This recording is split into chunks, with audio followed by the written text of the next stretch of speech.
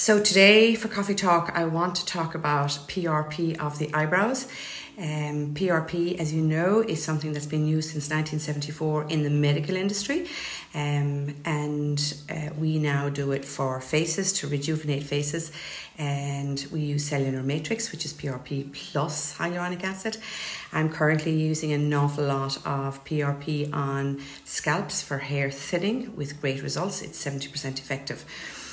We had some leftover PRP when I was doing a friend of mine, her PRP on her face before Christmas. Uh, she's had thinning eyebrows and is uh, wanted to try to see if the eyebrow hairs would grow. Uh, uh, rather than go down the road of going a more permanent route, which would be eyebrow microblading or blade and shade.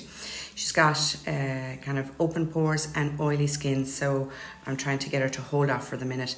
And the leftover PRP we injected into her eyebrows twice, and that was four weeks apart.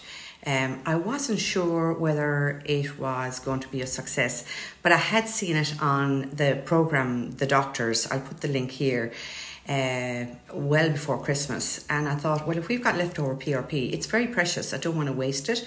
We'd already used it on her face, neck, and décolletage. There was a sm- and forehead and around the eyes as well. But I just said to her, why don't we just see if your eyebrow hairs will grow? Um, and we did it on both occasions, one in December, one in January.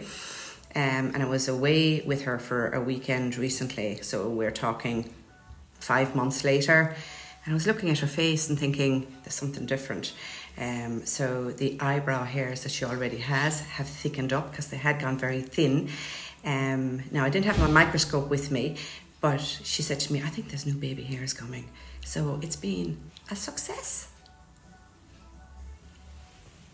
So she's the lady that I shared on the reels, uh, just tap back uh, that we started her PRP journey for her face around her eyes, and we also did cellular matrix. So we did her face, her forehead, around the eyes, eyebrows, as you know, neck and décolletage. And for this part of her face, I used a cellular matrix. So she had three treatments in one, and she had a treatment in December of 2023, one in, in January of 2024, and one in February of 2024.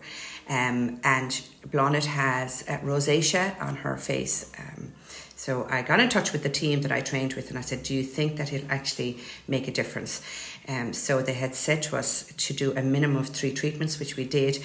Um, she's got the glow. I've put her photograph here. She's got the glow, and the rosacea is not quite gone. Um, it is definitely improved, but it's not gone. So, but any improvement is good. And she's happy.